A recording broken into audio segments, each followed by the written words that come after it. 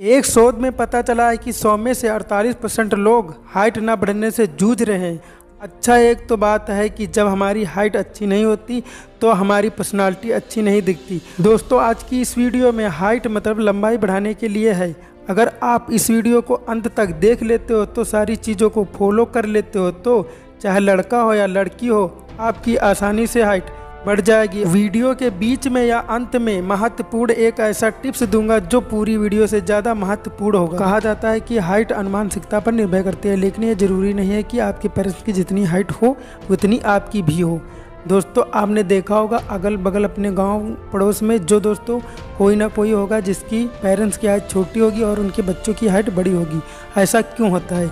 ऐसा इसलिए होता है दोस्तों, जैसे उनकी दादा, दादी या दोस्तों, उनकी नाना, नानी या उनके चाचा, चाची पर उनका जैनिक हो जाता है। इसकी वजह से दोस्तों, उनकी हाइट ज़्यादा हो जाती है। क्योंकि दोस्तों, आप ये भी देखा होगा कि हर इंसान की शक्ल जो रहती है, घर से पेरेंट्स से कभी कभी मैच नहीं करती है। चाचा चाची या दोस्तों नानी नाना इनसे मैच करती है। इसीलिए, दोस्तों, जो जैनिक्ट है अपना, ये किसी ना किसी के, आपके फैमिली से मैच करता है। इसकी वजह से, दोस्तों, आपकी ग्रोथ ज़्यादा हो जाती है। इस तरह लंबाई भी इफ़ेक्ट करती है। क्या आपको पता है कि लंबाई बढ़ाने के लिए शरीर में सही मात्रा में पानी होना चाहिए? काफ़ी वीडियो आपने देखा होगा। सभी लोग आपको बताया होगा कि ज़्यादा से ज़्यादा पानी पीना चाहिए।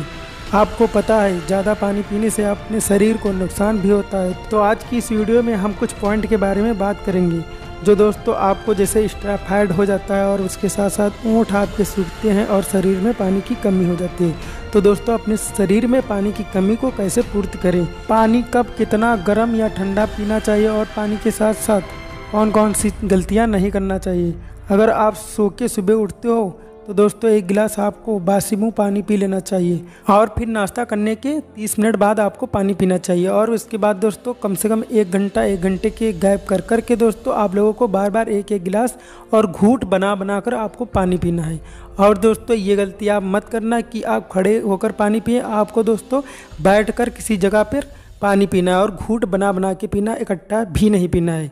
और और आपको ना तो ज़्यादा ठंडा पानी हो, ना तो ज़्यादा गर्म नॉर्मल पानी रहना चाहिए। और आपको ये चीज़ याद रखना चाहिए कि दूध या चाय के तुरंत बाद आपको पानी नहीं पीना है।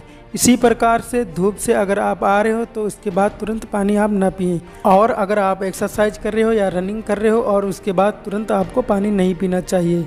और अगर तले भुंजे पकवान आप खाते हो, या दोस्तों, मूंगफली खाते हो तो उसके तुरंत बाद आपको पानी नहीं पीना चाहिए। आप बात कर लेते हैं टिप्स के बारे में, जो दोस्तों अपने ही देश में ऐसी चीज़ है कि जो मतलब योगा करने से 100 परसेंट हाइट बढ़ाया जा सकता है और दोस्तों काफ़ी लोगों ने बढ़ाया भी है। तो दोस्तों अगर रेगुलर आप योगा, स्ट्रेचिंग या एक्सरसाइज करते हो और उसके साथ डाइट अच्छी लेते हो तो दोस्तों हंड्रेड परसेंट आपकी हाइट बढ़ेगी।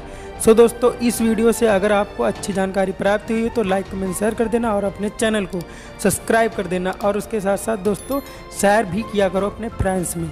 जय हिंद, जय भारत, वंदे मातरम। फिर मिलते हैं नेक्स्ट वीडियो में जो हाइट और हेल्थ से रिलेटेड होगी।